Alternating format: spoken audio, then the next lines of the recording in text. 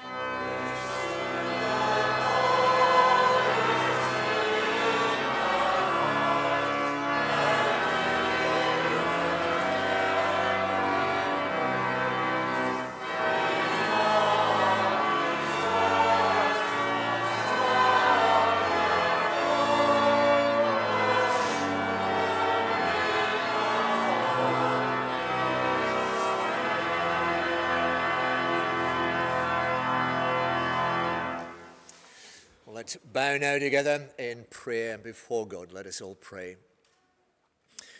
Living God, uh, it's always a delight for us to be able to gather together and draw aside from all the other things that occupy our time and our attention and our energies all the other concerns that we have, all the fears that we have, all the worries that we have, all the problems that we face, and come into your presence and the knowledge that you are indeed that great creator God by whom all things are made, to whom all things belong.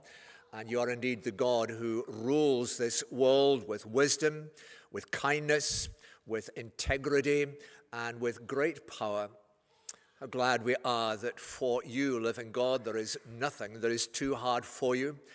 How glad we are to be assured time and again and in any number of ways that there is in your own holy heart a kindness and a compassion that means you have a care over all that you have made and that you do indeed know each and every one of us and all the range of our circumstances. You know us, you understand us, you care for us, and in that love you declare, you have come to us in the person of your Son to address the deepest needs that we have, to meet us in those needs, and in and through your Son, the risen Lord Jesus Christ, to provide for us a way of forgiveness an opportunity to enjoy your renewing work in our own hearts and lives as you remake and restore us. And one day you declare, mean to conform us finally to the very likeness of Jesus and all the perfection of his glory. And how we thank you, living God, that in and through your Son, the life that he lived, the death that he died, and in that remarkable, astonishing way that you raised him from the dead and commend him to us as one who is risen, alive, and at work in the world, the one who is king. We thank you for the assurance that even death is not a problem to you. You're able to, to bring your power to bear upon that, to break its hold upon our lives by dealing with what lay at its root and how glad we are, therefore, to gather in the name of your Son, our Lord Jesus Christ, and to bring to you our praise, to rejoice in all that you are, that utterly holy and righteous God, who in compassion and care has provided for us a way whereby no matter who we are, what we've done, we may indeed enjoy your forgiveness, enjoy that new start, and enjoy your presence with us. So, would you come by your Holy Spirit, living God, and make yourself known to us that we might be aware of your presence, that we might hear you as you speak to us through the Bible, and that we may indeed know once again the assurance of your love and your care for us in the person of your Son, even Jesus Christ, through whom we ask it all. Amen. When we turn to the Bible to read just a, few verses from the Bible this morning to start with, Mike is going to come and read these from Romans. We'll have the words on the screen for you.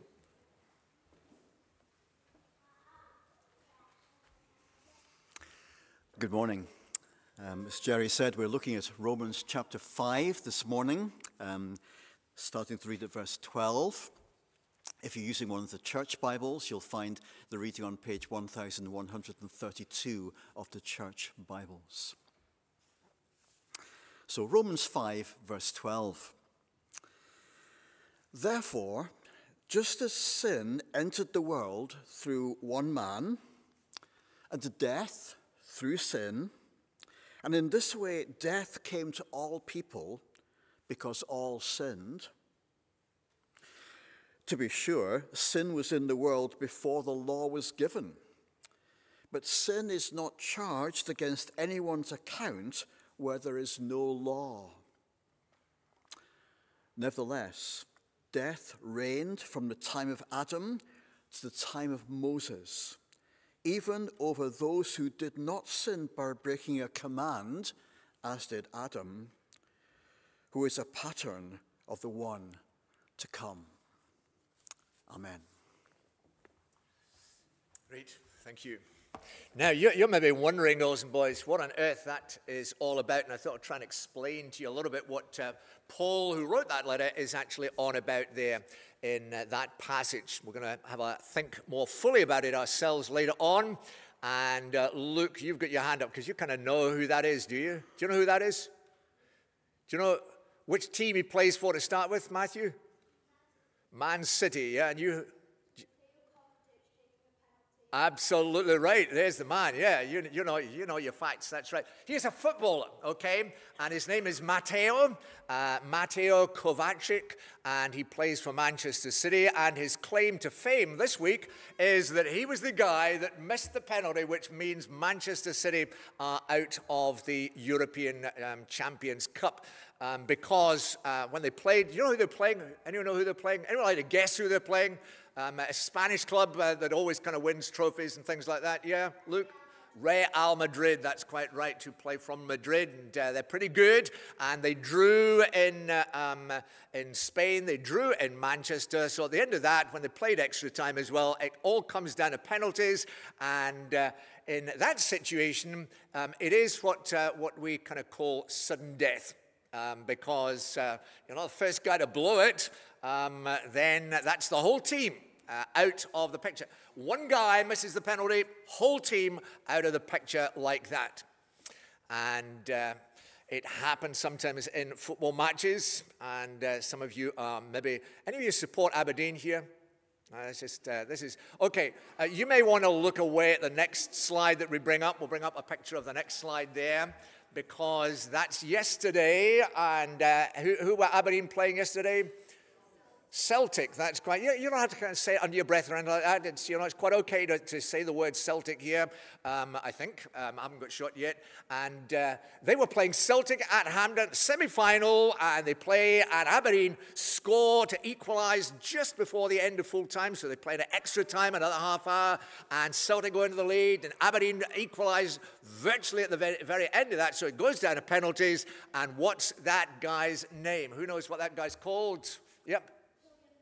Kilian Phillips, that's right. That's absolutely right. And poor guy. Oh, dear me. What happened? What happened? Yep. Yeah, he missed the penalty. Um, or you could say he didn't miss the penalty, the goalkeeper saved the penalty, which is just another way of putting the same thing. And as a result, whole team are out of the Scottish Cup. Um, and that's why pretty much everyone in Aberdeen kind of looks really sad today because they're out of the cup like that. And it all comes down that kind of sudden death where it all hinges on this one guy. Um, if, uh, if he misses, then that's the team out of the, the, the competition. And that gives you a little bit of an idea what Paul is on about here, because one of the things that the Bible teaches is the way that uh, uh, as, as a body of people, our circumstances are determined by the kind of head guy. And so there's a good story in the Bible that helps you understand a little bit about this. And we'll put the, the next picture up and see if you can guess who that is meant to be a picture of in the Bible. Any ideas who that might be a picture of in the Bible? Any ideas? Looks like, yes, Chanel. David, absolutely right. David, who was a shepherd and he was looking after sheep, and uh, he had to face up to uh, not sheep, not lions, not wolves. Who did he have to face up to? Yep, Hannah. Goliath. Okay, so there comes Goliath, and Goliath was a big, big, big, big guy. I mean, huge, massively big. Um, if you were to stand down at the bottom there and look up at me, I would be I would be way short of where Goliath would be. I mean, he's huge, absolutely mega big is Goliath, huge good guy, and uh, the way that it was uh, it was kind of worked out was that. Uh, the, the army that was set against the people of God was called the Philistines. They had a huge, big army. We'll put them on the screen as well. Uh, and they simply put out their champion and said, uh, It's a kind of one to one sudden death. Whoever wins between our guy, Goliath, and your guy, whoever you want to pitch up there, uh, is the winner. And so everything depended on the one guy. And you can understand that the people of God, they, they kind of thought, you know, after you, you know, ladies first and things like that. Who wants to go out and face Goliath? Answer, no one wants to go out and face Goliath because he's a, a big giant. No matter how on earth you're going to uh, get the better of a guy like that, you don't want to get in the same ring as him at all. And, and David steps up and says, well, well, I'm not that big, but uh, I've got a big God, and God is able to handle these things. And so he, on behalf of the whole people of God, he tackles Goliath and he wins against Goliath and the people of God win the victory. And, and that in the Bible is, is a kind of picture that is given to us to help us understand what it is that Jesus has come to do for us. Because there are a lot of things in our lives, in our experience, that, that we can't handle, uh, that are bigger, stronger, mightier than us. There are giant problems in our world, and in particular, they are sin, the, the capacity we have to, to get things wrong and to go wrong like that, and, uh, and death itself. We don't have an answer to that. And Jesus came into this world to be our champion and to do for us what none of us could do ourselves. And, uh, and the Bible simply says he's beaten death. And so we'll put the next picture up for you. Jesus himself tackling death head on on our behalf. And uh, he, he beat death. He beat the giant. He, he got the victory. And he gives that victory to all who trust in him. Uh, that's the wonderful thing. That's the wonderful good news that we have. That victory of Jesus has been given to us. God knew what the problem was. He knew that the problem is with us, that all of us do wrong and get things wrong and go wrong and go our own way. And, uh, and we don't have an answer to that. We don't have an answer to, to death itself, but Jesus has come and provided us with that answer. He is the one who gives us the victory. In Him we know forgiveness. In Him we know that victory, even over death itself. And He's our champion. And that really is what Paul is on about in this passage here. Um, just underlining that although the first head guy, um, Adam in the Bible, who, who blew it, and therefore the whole of humanity kind of has blown out the picture with him. Uh, and along comes Jesus to, to start all over again and say, uh, I'm going to start a new humanity, a new people here. Uh, come and join me. The victory is yours. We learn to trust in him. We discover that's the life now that we're able to live. So before you head out to Sunday school and uh, enjoy your time there, we're going to sing again. We're going to sing a song that reminds us uh, that God knew all along that's what the problem was going to be, and He had an answer to it in the person of His Son uh, when the Father made us.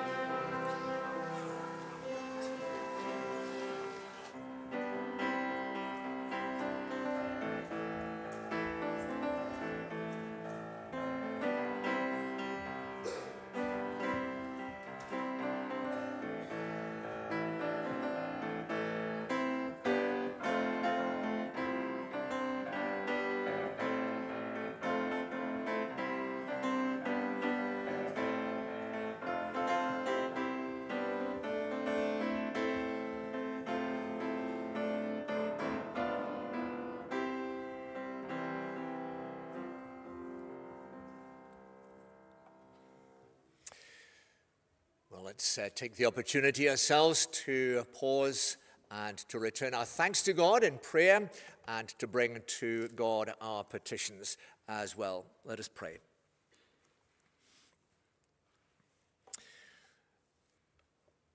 Almighty God, as we bow in your presence, we do so aware, first of all, of the, the sheer greatness of your own majesty remembering even as we do so that this world that we live in, full of such enormous variety, full of such great beauty, marked in so many ways by a, an astonishing order, is your world because you made it. You brought it all into being. You spread out the vastness of the universe. And it is astonishing to us, living God, that in all its immensity, there is nonetheless a recognizable order about it. We thank you that we live in a world and indeed in a universe that is run by a God who is wise, who is good, who is kind, who is strong. And yet we recognize too, living God, that uh, we, have, we have blown it. And we have paid the penalty in a world that is now tarnished by our sin broken in so many different ways. We recognize in the items of news that come our way, the tragedies that there are, the violence that erupts, the tensions that exist, the divisions that are created, the anger and the hostility, the animosity, the cruelty, uh, right across the face of the world in which we live. We see it in the arenas of warfare, whose roots are so complicated that we scratch our heads and wonder how on earth can that sort of animosity, that sort of hurt, that sort of harm, those sort of wounds that have been done to societies ever be resolved and addressed and mended. We wonder how on earth the ongoing conflict in Ukraine is, is going to end, how things in the Middle East with Israel and Gaza and, and all sorts of others uh, on the periphery about to, to join in, it would seem. And all so complicated and such a long, long and painful history behind it. Uh, how, we, how we cry out to your living God and and beg of you that as the, the righteous God who is judge of all the earth, you would be pleased sovereignly to intervene and bring these things to a conclusion. And that's just the arenas of conflict, living God. We recognize that there are any number of places where uh, so many different portions of society suffer under cruel, and violent, oppressive regimes and have little in the way of any resource to be able to remedy that themselves. So many who live in abject poverty, so many whose lives and whose communities have been devastated by disasters of one sort or another, and for whom the, the whole prospect of rebuilding in the aftermath of earthquakes, in the aftermath of volcanic eruptions, in the aftermath of flooding, in the aftermath of famine and drought, whatever it may be, the, the whole task of rebuilding seems such a, an uh, almost impossible task to address. And we pray, Lord God, for all who, in one context or another, seek to bring relief, who seek to minister peace, who seek to right the wrongs that there are, we pray that you would help them and prosper them, and that you would undertake for those to whom the responsibilities of government are given, both locally, nationally, and internationally, and that you'd give them much wisdom, much discernment, much integrity, much compassion as they seek to exercise their responsibilities in the name of countless different peoples. We're aware too, living God in our own lives, of how broken and flawed this world is, the range of different ways in which we experience the brokenness of that world, in the experience of illness, some uh, chronic conditions that folks suffer from the debilitating effect of so many illnesses, the struggles that so many have with dementia, the issues that folk have in terms of physical pain and mental struggles, emotional difficulties, relational tensions, financial problems of one sort or another. And then the experience of bereavement and loss and that devastating pain that, that simply cuts right through to our hearts and weighs upon us like a, a deep pain and ache that nothing can ease. And we pray, Lord God, for those who are ill at this time, that they may have a very real sense of your own gracious, kind presence with them.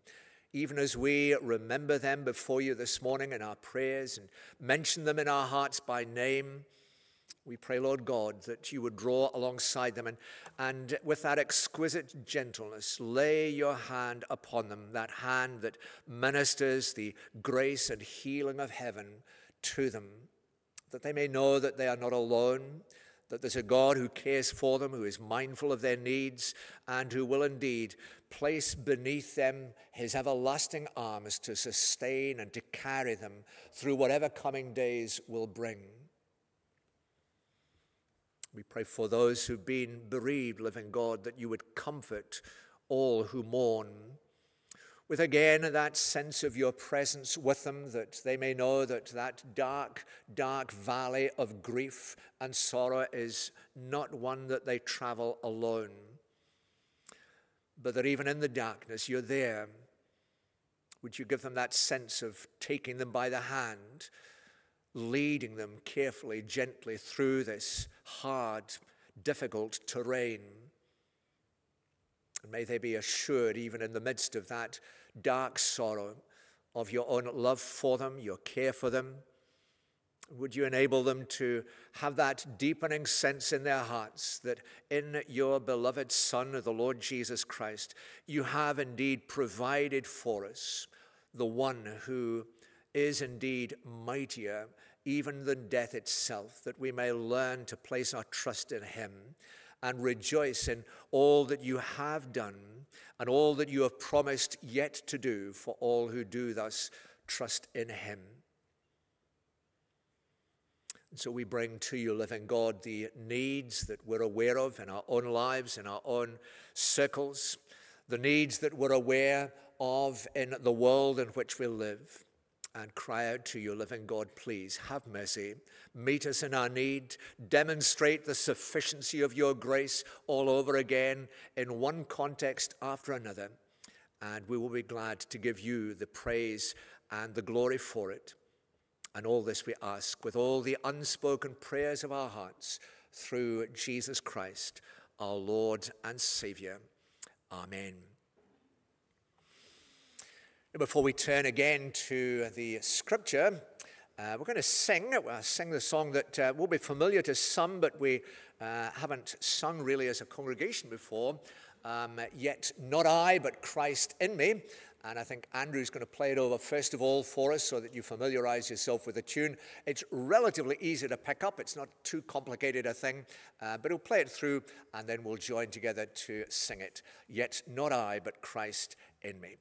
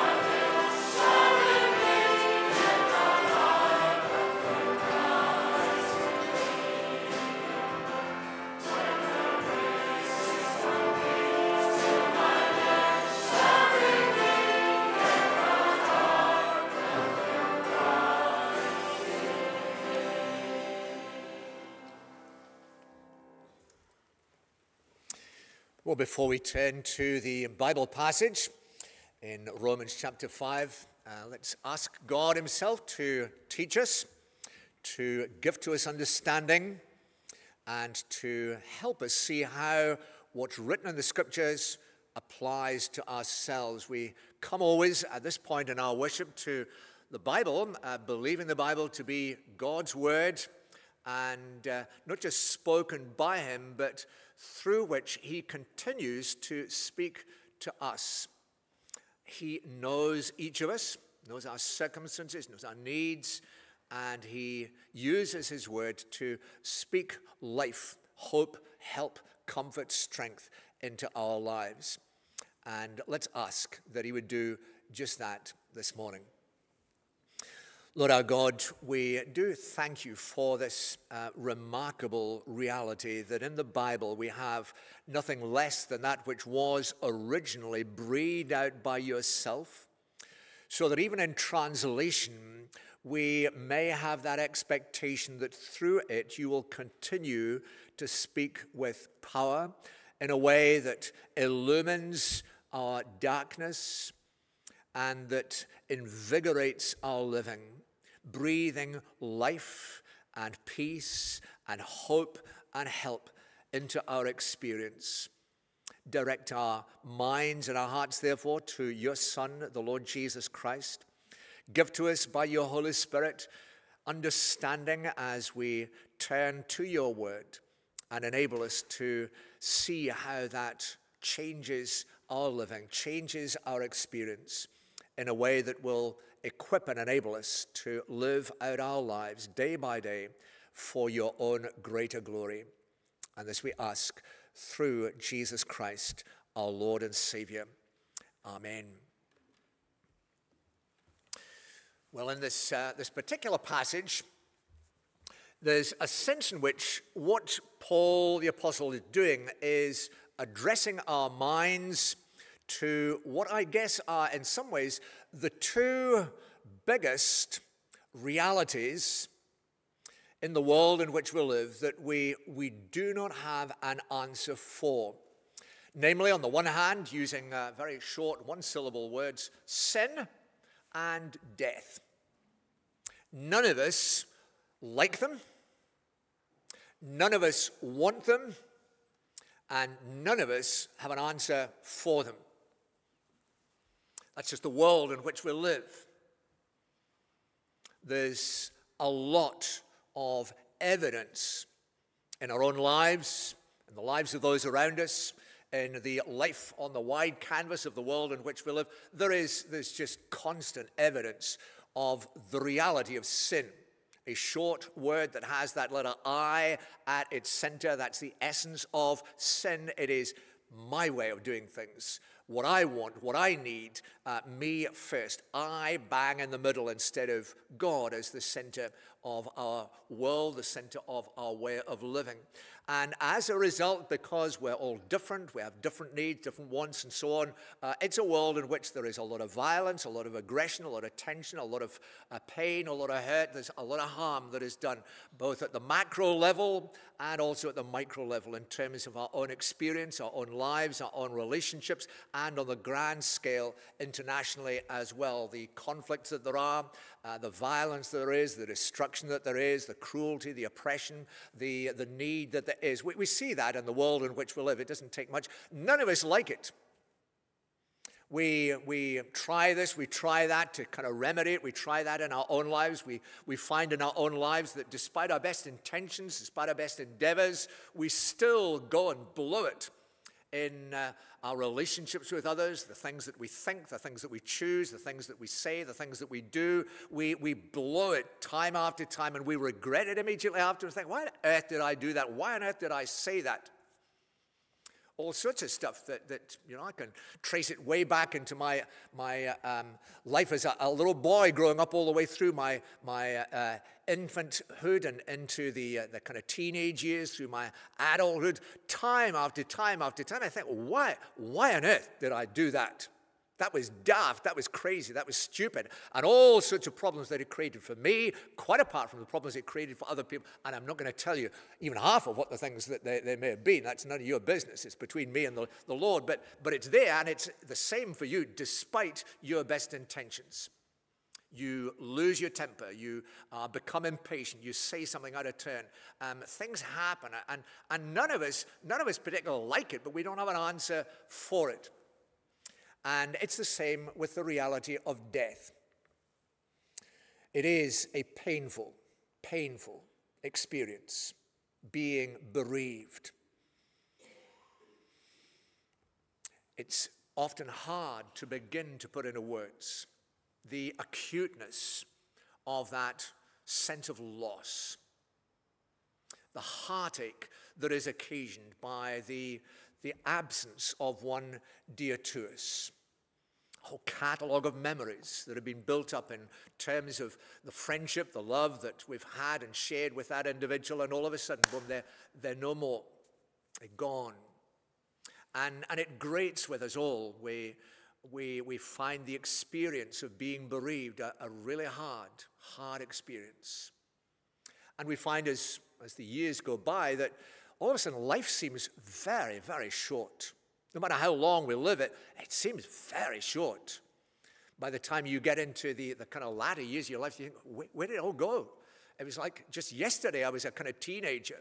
Uh, so much so that sometimes, even well on up in years, you, you still think of yourself as a kind of 20 year old when actually you're, you're 40 years further down the line. You are a 60 year old now, but you, you haven't kind of made that leap, and, and time flies by. And, and we, we think, you know, we're, we're made surely for more than this. And these two realities are what, what Paul is really addressing in this passage. And so it's, um, uh, it's a passage that, that is, is bidding us try and get our heads around what, what the essence of the situation is and, and to see what God has done in order to address that. And there is really ultimately only one answer that adequately addresses these two realities uh, and that is in the person of Jesus. You, you will encounter a whole range of different uh, faiths and religions, but none of them really get to grips with these two realities. Some of them say, you know, pull your socks up and, and make sure you kind of uh, just make a better effort and perform better. And you think, well, that's the problem. I, I would like to, and I try to, but, but I, I don't manage to do so adequately. I still fall far short. And none of them have an answer to death. All their founders, they're dead.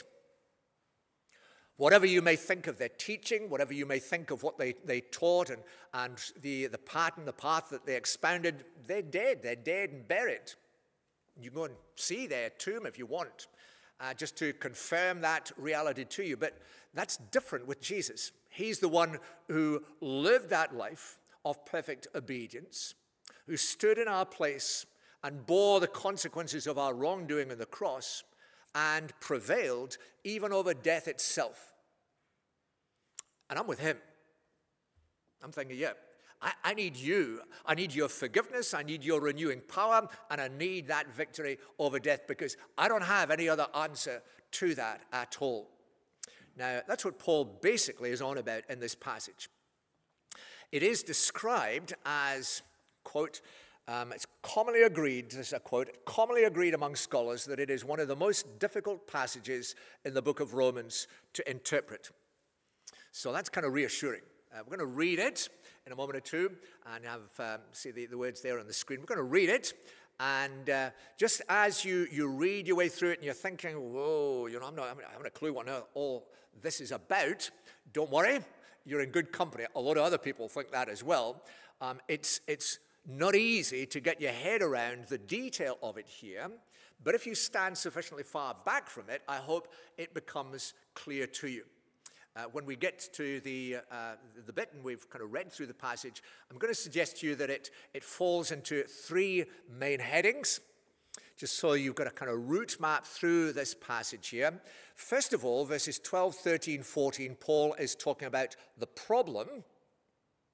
Then in verses 15 through 17, he's suggesting that there is a basic pattern in the way in which our experience unfolds under God.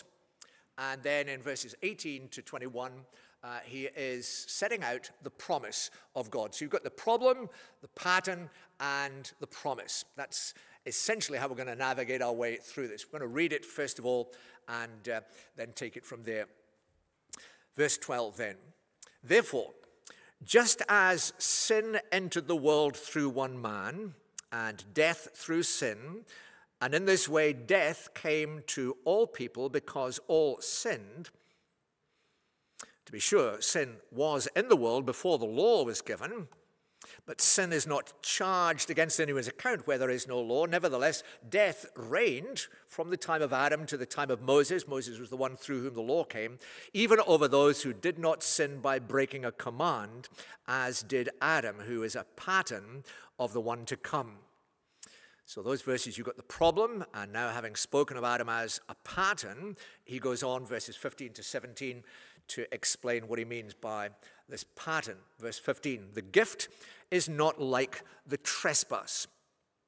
For if the many died by the trespass of the one man Adam, how much more did God's grace and the gift that came by the grace of the one man Jesus Christ overflow to the many? Nor can the gift of God be compared with the result of one man's sin. The judgment followed one sin and brought condemnation, but the gift followed many trespasses and brought justification. For if by the trespass of the one man death reigned through that one man, how much more will those who receive God's abundant provision of grace and of the gift of righteousness reign in life through the one man, Jesus Christ?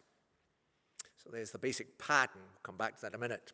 And then the promise, verses 18 to 21. Consequently, just as one trespass resulted in condemnation for all people, so also one righteous act resulted in justification and life for all people. For just as through the disobedience of the one man the many were made sinners, so also through the obedience of the one man the many will be made righteous. The law was brought in so that the trespass might increase. But where sin increased, grace increased all the more. So that just as sin reigned in death, so also grace might reign through righteousness to bring eternal life through Jesus Christ our Lord. Now, that's the, the, the whole passage, and it's a kind of basic unit there. And there is there's quite a concentrated line of argument that Paul is making here. Um, but don't be put off by the, the kind of concentrated nature of this argument. I'm going to try and uh, hopefully uh, simplify what Paul is saying for you here uh, under these three broad headings that I mentioned. But the essence of it is uh, simply this that there are essentially two humanities. There is the, the kind of old humanity. Everyone descended from Adam. And that therefore includes you and me. That's, that's the old humanity. And the experience of that old humanity is one of enslavement and of death. Enslavement, we, we find ourselves in bondage to a pattern of behavior that drags us down and results in death. That's, that's just who we are in Adam. That's the one humanity. And over against that, there is a new humanity, God coming in Jesus to do as the new man, the new Adam, as it were, what the first Adam failed to do, and live a life of perfect obedience. And uh, pay the price of our wrongdoing to provide for us a victory even over death. And so, over against the enslavement and death, there is in Jesus, there is freedom and life. Free from the guilt of our wrongdoing, free from the power of sin, and uh, life being given to us a life that is new, a life that is abundant, a life that is eternal.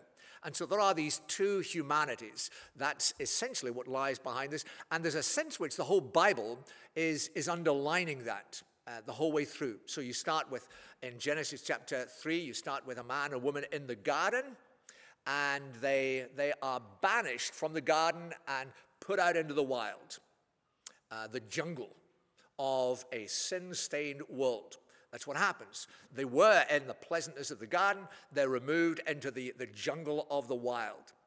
And then in comes Jesus, and he starts in the jungle of the wild. He has those days out in the wilderness, that's where he is, and his story begins in the wilderness and ends in a garden. He brings the people back.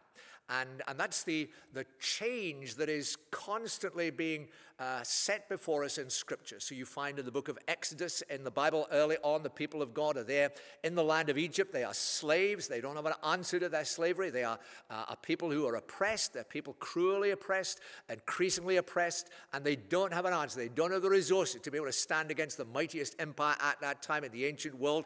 How on earth are they going to get out of that slavery? God comes in and he takes them out of that slavery into a new world, into a new land, a better land, brings them into a good, spacious land instead of that, that slavery that they'd previously known. And uh, in the New Testament, the, the way that often it's put is in terms of God coming to meet us in our darkness, in the dominion of darkness, take us out of that dominion and bring us into the kingdom of His beloved Son, in which there is life. So that there is this sort of basic picture that He's working with. And He starts in verses 12, 13, and 14 with the problem. Verse 12 is his basic diagnosis. And the diagnosis is uh, under these four basic headings. Number one, sin entered the world. So, this is uh, just the, the diagnostic approach to understanding the world in which we live. Sin, in all its many forms, that kind of self centered, self seeking, uh, self uh, important uh, facet to our humanity, that's an intruder. That's not part of the way the world was made by God to be. It is an intruder. Uh, don't blame God for it. Uh, not part of his original creation. It came in. Sin entered the world. When you ask, how did sin enter the world? Uh, his answer is through one man. Through the, the man who kind of headed up humanity at that time, Adam, uh, in the rebelliousness whereby he figured that, that actually he could make a better job of being God in the world than God himself could. And so uh, he, he chose to, to go against the command of God. God had said, You are free. I have made this world for you. I have made it in all its abundance, in all its plentifulness, all its beauty. I have made this lovely world, this well ordered world, this world that is full of beauty, a world that is, uh, is uh, furnished with so many good things. Go out, he said, enjoy that whole world. Enjoy all the fruit of the different trees. Enjoy the beauty. Enjoy the, the refreshment. Enjoy the, the, the, the richness of it all. Just go and enjoy it. It's, it's yours, and I've given it to you. Go out and enjoy it. Just don't touch the fruit of that tree there. And, and Adam figured, you know, why not? You know, um, uh, how mean can a God get that he, he, he makes a whole world and then says, but don't touch it? And, and so he figures, yeah, I'll, I'll, I'll go for that. I, I want to be I want to be the one in charge. I, I want to run my own life my own way. I'll do things my way. And so he, he rebels against the living God. Sin comes in through the one man in that manner.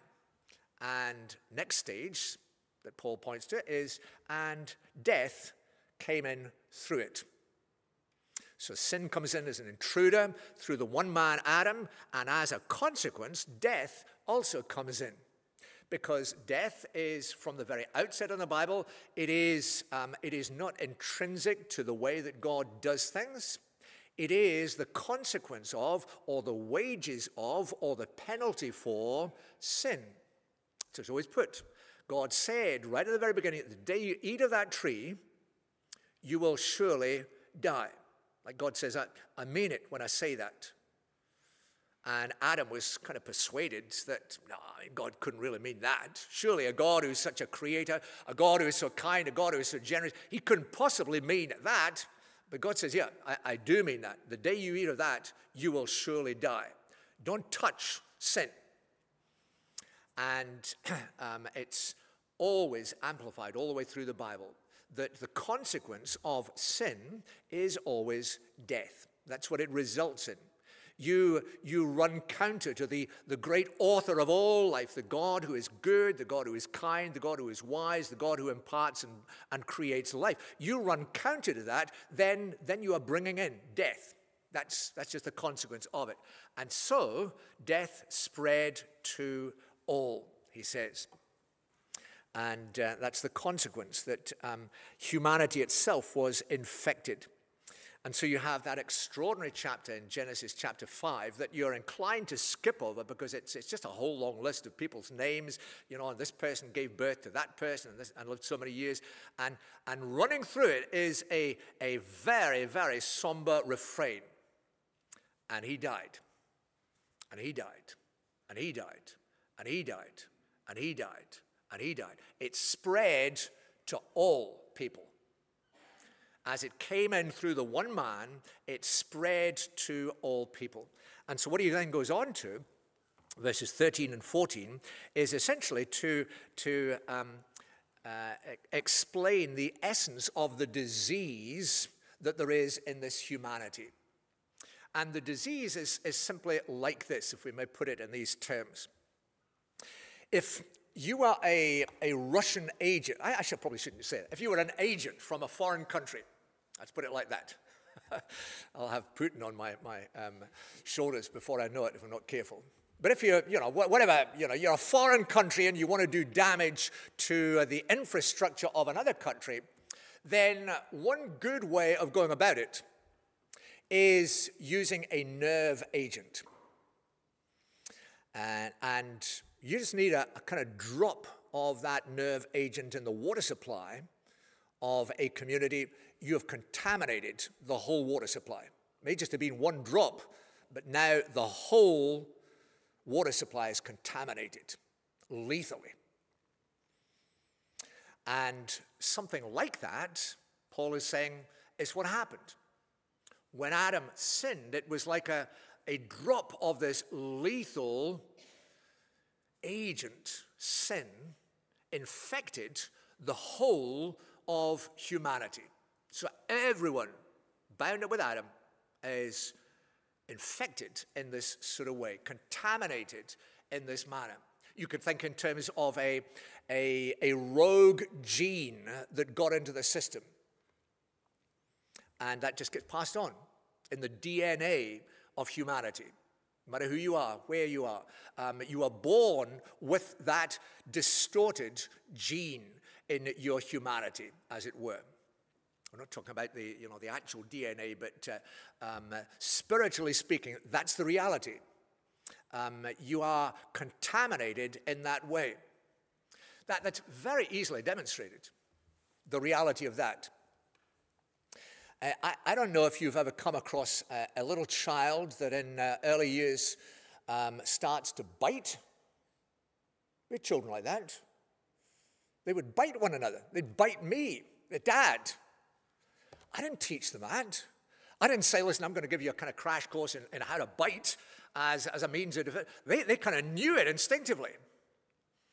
I, I didn't have to teach them to lash out at uh, other people when they didn't get their own way. I didn't have to give them a crash course on that. So listen, you know, let me teach you a few good moves. You know, so let me teach you a bit of violence here so you, you'll learn how to do it. Come on, you, you gotta, you gotta learn how to do it. They did that without anyone teaching them. They just did it because, because they're human. And that's what Paul is on about here. The whole of humanity is now infected with this reality of sin. Uh, death spread to all, and the disease, therefore, is one that um, uh, long before there was, you know, the law of God coming into place, that, uh, you know, uh, people begin to think, surely you, can't do things that are wrong if there's not a law that says, and well, they, they do things that are wrong whether or not there's a law. And the, the fact that, that all died and kept on dying all the way between Adam and Moses, where the law of God was being given, that, that kind of demonstrates, yeah, it's in the system. Uh, the problem is already in there, the, the reality there that the whole of that humanity has been infected. And so he speaks about Adam there, you'll see at the end of verse 14, as a pattern of the one who was to come.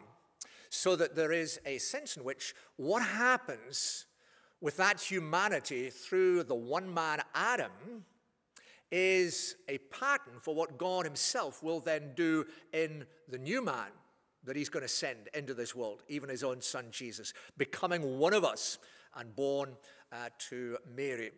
Uh, that we celebrate at Christmas. So he moves on then to the pattern in verses 15 to 17. Adam, a pattern of the one who is to come. Okay, you with me so far? Uh, hopefully. All right, we've got a, a humanity here. Sin came in, it's the intruder through the one man Adam, who was kind of head of the human race at that particular juncture in time. And, uh, and it uh, brought with it death, and death spread to all because the whole of humanity is now infected. Uh, the whole of humanity with this kind of dud spiritual DNA, with that, that uh, rogue gene in our spiritual DNA called sin, and therefore all experiencing death. We've got a problem because we, we can't fix that. So God uh, has a, an answer to that in the person of Jesus. And so in these verses, 15, 16, 17, um, there is uh, one of these kind of classic things you probably got at school, um, if you went to school, which presumably most of you did. Um, a kind of compare and contrast. Um, you ever done that exercise at school? Some of you probably have done that, and, and maybe you don't remember it, but you probably did it. A compare and contrast, where you've got to look for the similarities and you've got to look for the differences between those, and, and it's a compare and contrast thing that is going on here. And the, the comparison is between Adam, who is the head of humanity, so that what is true of him becomes true of everyone in that humanity, and Jesus, the head of a new humanity, and everything that is true of him, true of all those who are in him. So you see where it's kind of leading. You're either in Adam because that's where you were born, or you're in Christ because you have, you have shifted by the exercise of faith into a relationship with Jesus Christ. You're part of that new humanity. That's the basic pattern. Everything that is true of the, the kind of one head guy becomes true for all those who are in him. Now, that's uh, how he starts off the comparison there in uh, uh, these verses. We're all in Adam. And so we are um, part, I suppose, you could think of it like this we are part of the Adams family. Now, the, the kind of Addams family that uh, you saw on the, the TV screens, um, I think they started back in 1964. They, they, they, spell with two D's in the middle, the Addams family. And um, quite interesting. It uh, was a cartoon by uh, a New Yorker that, that actually originated in, in uh, America in the 19, late 1930s, I think, um, the Addams family. And uh, you're not kind of weird family. And in the, the television series, uh, the uh, Mrs. Adam, she gets given a, a name, a, a first name. And interestingly, her first name is Morticia. You remember that? Maybe you don't. It doesn't matter. I'm, I'm, just telling you. You can check it out for yourself. She's called Morticia, which, which is from the Latin word for death. And here, the Addams family, the matriarch who kind of heads the whole thing up, and you, you know, her who must be obeyed type of thing. You don't argue with, uh, with this lady, Mrs. Addams. No, she's called Morticia because right at the heart, the one who generates the rest of the family is death. Uh, interesting comparison. That's, that's who you belong to. You're part of Adam's family as your starting point. And um, you don't need to be a celebrity to be, to be wanting to say, listen, uh, I'm a celebrity, get me out of this family. I, I, don't want to be in this family. I don't want to be a family that is tainted in this way, that is contaminated in this way, that is marked by death in this way, but I'm stuck here. Get me out of here. And that's the, the kind of comparison that the, there is another humanity alongside that of Adam's family, there is Jesus' family. And so the, the contrast and comparison through these verses between the Adam on the one hand as the head of one humanity and Jesus as the head of another humanity in that manner. And I can appreciate those of you sitting over this side are beginning to get a kind of complex that uh, you're on, on the, the kind of Jesus side and you're on the Adam side and you've got a complex as well. You're thinking, oh, I, I want to swap sides. Feel free. Um, you know, you can move around as you like, but um, we'll, we'll swap over. So um, Adam and Jesus, doesn't matter which side it is, as it were. It's just these two realities. And there is a contrast, um, a threefold contrast 15, 16, 17.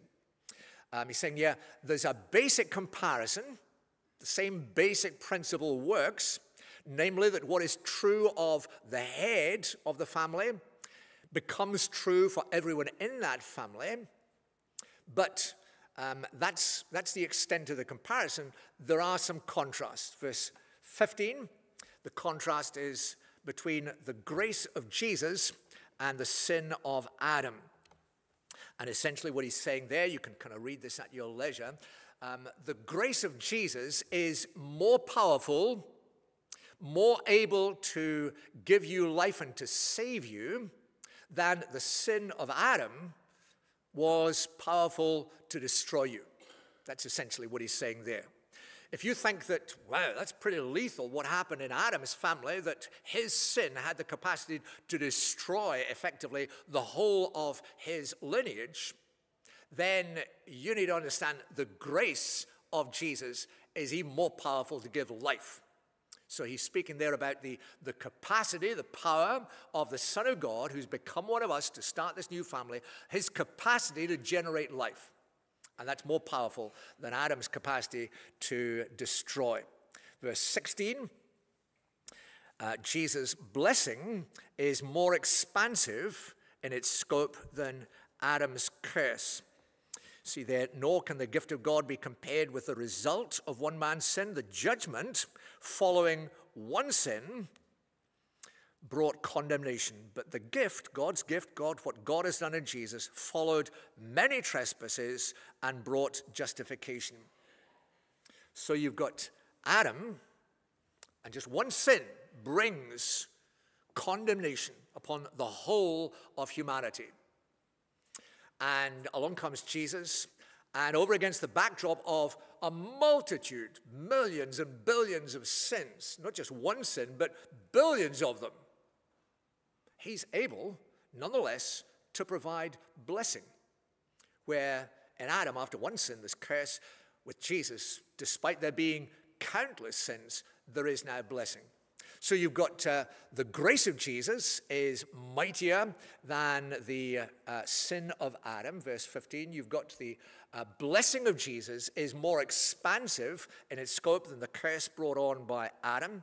And finally, in verse 17, Jesus' mercy is greater than Adam's misery, if we put it like that. If by the trespass of the one man death reigned through that one man, how much more will those who receive God's abundant provision of grace and the gift of righteousness reign in life through the one man, Jesus Christ?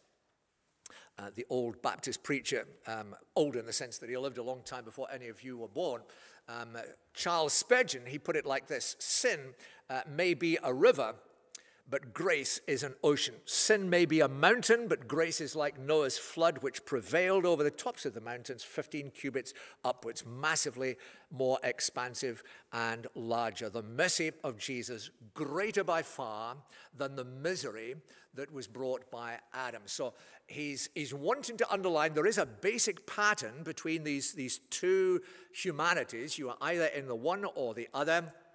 And in Jesus, there's, uh, there's so much that means it is just more and better and greater. And so he moves on in verses 18 to 21 to speak about essentially the promise. And the promise is, is really very simple. Uh, God promises that in Adam,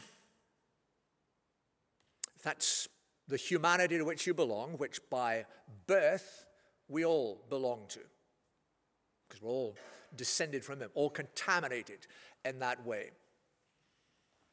In Adam, here's the promise in Adam, all die. That's what God said right at the very beginning. The day you eat of that tree, you will surely die. That's a promise guaranteed by God. That's what happens. That's repeated here in uh, verses 18 and 19. In Adam, all die, all are under condemnation.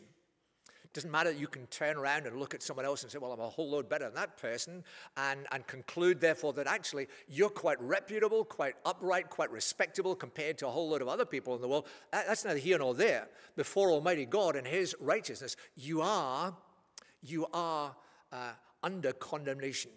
And death uh, is the, the consequence of that a physical death, a spiritual death, an eternal death. That's the consequence in Adam. And that's what he's pointed to in these verses 18 and 19. Um, and in Jesus, you are justified, you are put right with God, and you have life. Verse 19 kind of expands on it and simply says, In Adam, you are constituted essentially a sinner. That's, that's how you're defined by God. You are that. That's the verdict pronounced over you, and that's the reality about your life and your living. It has infected you so that not only are you, you branded as such, you become that. And equally in Jesus, verse 19 underlines in Jesus, you are constituted right with God and made right with God as by his Holy Spirit he begins to remake your life, rebuild your life, restore your life, transform your life until one day you will be finally and fully conformed to the likeness of Jesus. That's what he's doing. You will be made righteous. That's what's going on in these two families, in Adam, in Christ. And that's the, the promise that God makes. In Adam, all die, but in Christ, all who are in him will be made alive. That's the, the, uh, the choice, therefore. Are you just going to stick in the jungle of Adam's family life? Or celebrity or not, are you going to say, Get me out of this and get me into the family of Jesus? Verses 20, 21 uh, highlight essentially the, the same truth but look at it from a slightly different way. And they, they simply underline you either seek to, to sort out your life and sort out the problems in your world and sort out the reality of sin and sort out the problem of death by law, by obeying the law, or by recognizing that's a fruitless exercise. And you therefore recognize it is by grace you rely on what God has done for you in Jesus. Uh, the law, he's saying in verse 20, the law was, was never given in order for that to be the means by which you kind of climbed into heaven, by means of your, your obedience, by means of your performance. The law was given in order that you might be helped to see actually what your problem is, that you do not measure up. You, you kind of run through the Ten Commandments, and I guarantee you will straight off you will recognize, yeah, you know, uh, that's me, and that's me, uh, and that's me. And uh, it's given, he's saying, so you can see the reality about yourself. That you do not measure up, that, that sin is a problem in your life. Because uh, as, as the law comes in and, and shows you how to live, you maybe plead, you know, no one's perfect. And God says, yeah, that's the problem. You're not. No one is. That's the problem. The law given not to be the means by which you climbed, as it were, into heaven, but rather to, to show you how far short you fall and your need, therefore, of one who will do it in your place. And um, the contrast to that is in Jesus himself. As in Adam, what happens is that death now reigns. No one's got an answer to that. No one can stand up against death in Adam. But in Jesus, Grace reigns. Grace reigns and grace imparts and infuses life. Life that is full, life that is vibrant, life that is eternal, life that is lasting. And it's that life that is imparted there. That's a promise that God makes. You, you are either in Adam and you die, or you are in Christ and you live. You are either trying to do it by law, by, by your performance, or you're relying on what God has done for you in Jesus. And the one brings condemnation and death, the other brings freedom and life. So, which is going to be? That's, that's essentially what he's pointing towards. That the whole of the gospel is essentially binary. You are either in the one family, in Adam, or by having received what has been done for you and offered to you in Jesus, having received Him into your life, you are in Christ. And it doesn't matter who you are, it doesn't matter what you've done, it doesn't matter how much baggage you may have, it doesn't matter how far off piste you have gone in the living of your life, as you receive what God has done for you in Jesus, as you receive Him. Um, you don't have to understand all that the Bible has taught. You don't have to have a theology degree or anything like that. You just receive this Jesus. Recognize, yeah, He's come to, to do for me what I could never do myself. As you receive that abundant provision that God has made for you in Jesus, then it's freedom and life that you know. And you are either in Adam or you are in Christ. And it is in Christ alone that there is forgiveness. In Christ alone that there is renewal. In Christ alone that there is that victory guaranteed to us even over death. That's the promise that is made to us. See what the problem is, verses 12 to 14. See what the pattern is, the basic pattern. Uh, you are either in Adam, what true of him becomes true of all who are in that family, or you are in Christ. And then the promise, which is it going to be? Are you going to be in Adam still, or are you going to be in Christ? And uh, the, the whole burden of Scripture is to urge you, celebrity or not, to, to say, Get me out of this jungle. God says, Yeah, um, here is what I've done to get you out, bring you into a new family, a new realm, a new kingdom, and a new life. May God enable us to be found in Christ and to find in Him that it is alone in Him that life in its fullness is found. Gracious God, uh, thank you for your word. Uh, sometimes slightly complicated for us, just following through all that's going on, but we, we recognize that, yeah, there is a problem in the world in which we live, and we recognize that in our own lives. We put our hands up to that, that we acknowledge that there's a problem, acknowledge that uh, both sin, we don't really have an answer to that, nor death, and we'd love to have an answer to that. And so we thank you for uh, all that we're taught here about what you have done over against the humanity into which we've been born. You've begun a new humanity in Jesus. And we want to just lay hold of him and say, Lord Jesus, risen as you are, the one who is king, uh, we're with you. We want to be in your team, part of your kingdom, on your side. And so we gladly even as we bow before you now, Lord, we receive what you have wrought for us, secured for us, and want simply to make that our own and learn what it is to live with you, our Lord Jesus, as your followers, as your friends, and as part of your family. For your own name's sake, we ask it. Amen. Well, as our closing praise, then, we join to sing the, the song In Christ Alone.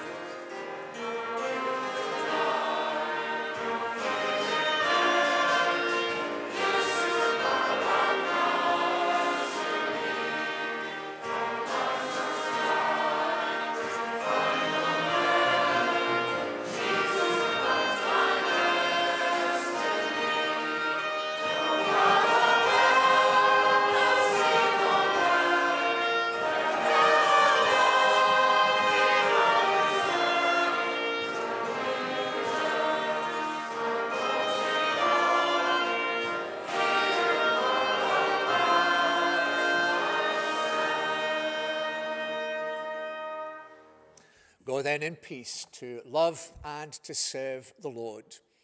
And together, may the grace of the Lord Jesus Christ, the love of God, and the fellowship of the Holy Spirit be with us all. Amen.